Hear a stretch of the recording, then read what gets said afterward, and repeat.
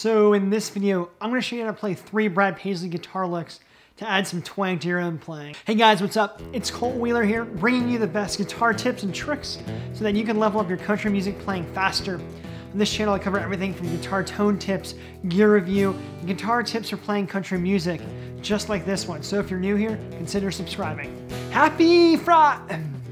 Happy Fry! End Day!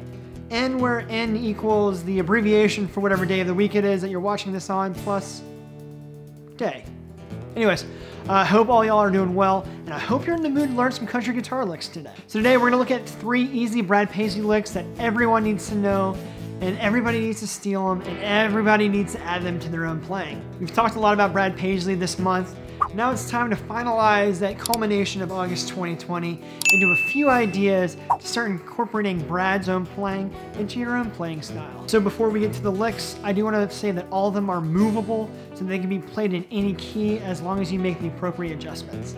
I should also mention that these all use a chicken picking technique as that's what Brad Paisley is known for. So if you're not familiar with this technique, check out this video here and then come back and learn the licks. Lick number one is a pull off to an open string riff. It's pretty nifty and it sounds instantly country. It's a really good easy lick to play when you're trying to play something fast and show off a bit, or if you're trying to improvise and need a little something to bounce around on until you're coming up with your next idea. Alright, so this one's pretty simple. What I'm basically doing is I'm plucking the B string with my middle finger. I'm not giving you the finger, I'm just showing you. I'm plucking the B string with my middle finger and picking the G, open G string. So I'm basically walking down the scale, the G major scale. Uh, it really depends on what uh, key you're in or what scale you're using. But I'm using the G major scale and I'm walking my way down from E, pluck the D, pluck the C, back to the D, back to the C, and then I'm taking this A and bending it and pulling it off to the open G, all while I'm droning on with that G note uh, with the pick. So pluck the E, pick the G. Same with the D, pluck the D, pick the E. Pluck the C, pick the G. Pick, pluck the D, pick the G. Pluck the C, pick the G. Pick, bend, and release the A, pull off to a G.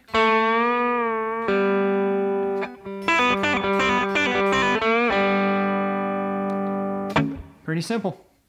You want the pull-off note to be the chord that is being played underneath, or at least the note that's in the key of the song that you're playing. As you have to have a drone note as the bass note in the lick, this will work over an A, D, G, B, or an E chord. If you're playing something different over a different chord or in another key, just slap on a capo on either frets one or two, and you'll have any note you need to play this lick.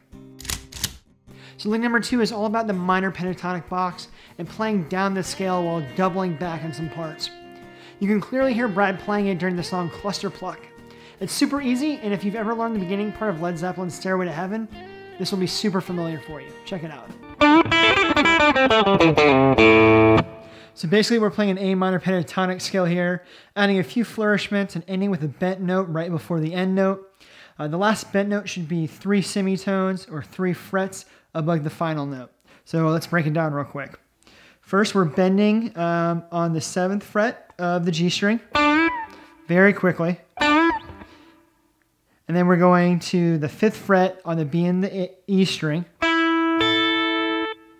Pull off from the eighth fret to the fifth fret. Grab the initial seventh fret on the G string. And then back to the fifth fret on the B string.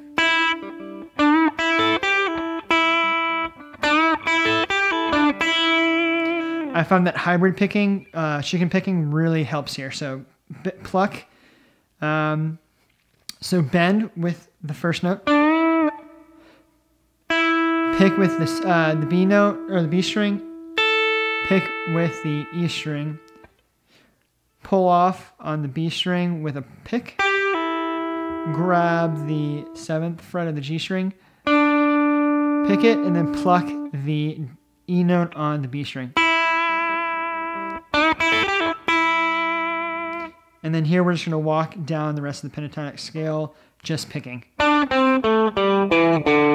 From here, go to that, uh, go down two frets, that third from the last note you wanna uh, land on, bend. So we're just gonna walk down the pentatonic scale. Go down two frets once you get here. Bend that note, and then bend, release to a pull off.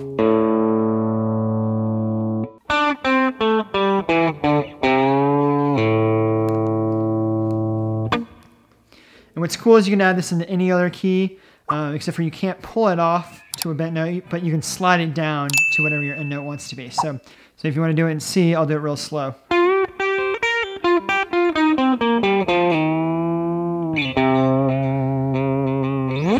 Or E.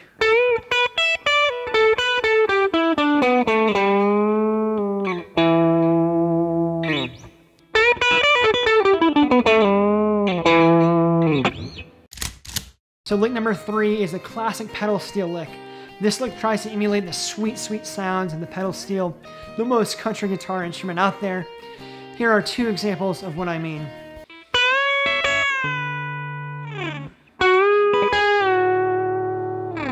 All right, so these pedal steel licks are pretty easy. The first one, we're gonna take the B string, uh, 12th fret, B note, bend it up a full step. And while we're holding it up there, we're gonna take our pinky finger and pluck this uh, E, e note on the 12th fret of the E string like this.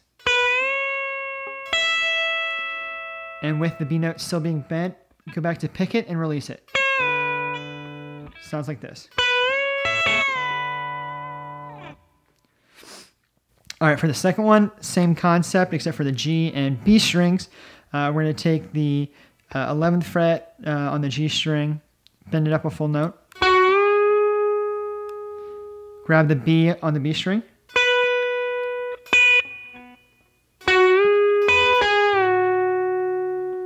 and release just like the other one. Pretty simple, right? You can get even crazier by adding more pluck strings before releasing the bent note like this.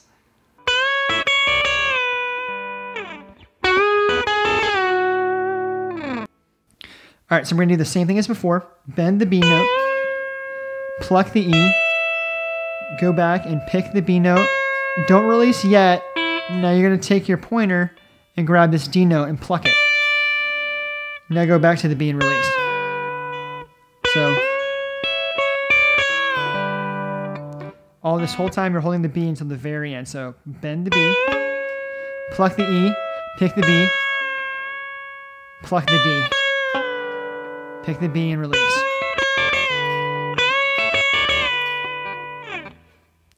Now for this next lick, we're gonna do the same thing as before. Take the F sharp, bend it up to a G sharp, pluck the B, but this is where things get a little bit differently. We're gonna go back to the bent F sharp note, pluck it, but don't release it. And with our pointer finger, now we're gonna grab the A note on the B string. Now go back to the F sharp, bend and release. So it sounds like this.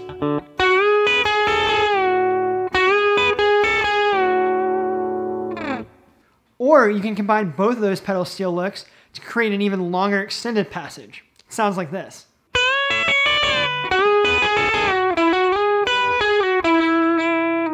Now for the final pedal steel lick, we're gonna combine the two licks we said before and add a little bit on the end so it sounds like this.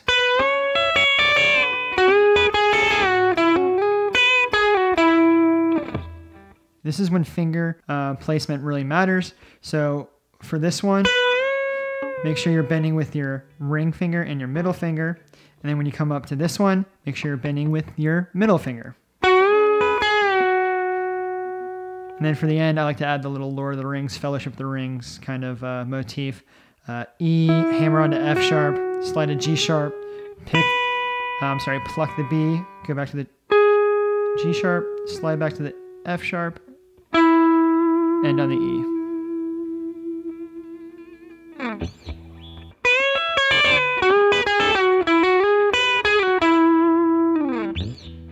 Fast style chicken picking was always way too complex for me to learn when I first started out playing. But learning a few simple licks like this and adding it into my own playing helped me coax more country twang out of my own guitar. This month, we looked at a lot of different aspects of Brad Paisley's playing, but I have a question for y'all. Who's your favorite guitar player? And who would you like to see me do a deep dive on next? Let me know your thoughts in the comment section below. If you enjoyed this video and learned something new today, hit the like button, as that helps me know which videos y'all enjoy, and I can create more country guitar videos. Consider subscribing if you haven't already, so that you never miss out on another country guitar lesson like this one. I'll see you in the next video, and until then, let the music play.